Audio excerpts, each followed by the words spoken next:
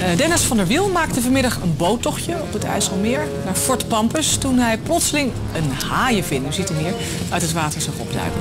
Zwemt er een haai rond in ons IJsselmeer even daar? Meerdere mensen hebben daar iets bijzonders gezien. Een vis met deze enorme vin. Een haai in het IJsselmeer is gespot. Pampas, a tiny Dutch island located in what used to be the Zuiderzee. Ever since colonial days, countless amazing tales have been told about this island and its fortifications.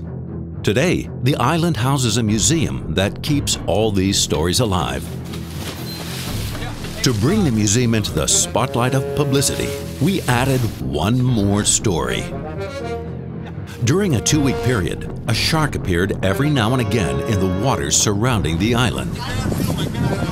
And it didn't go unnoticed.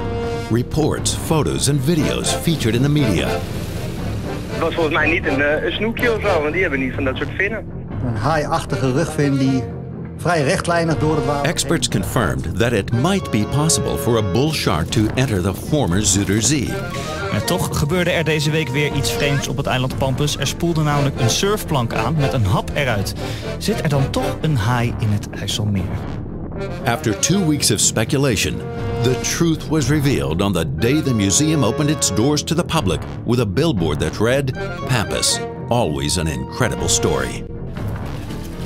That same night, we screened the movie Jaws on a purpose-built floating cinema in Pampus Harbor.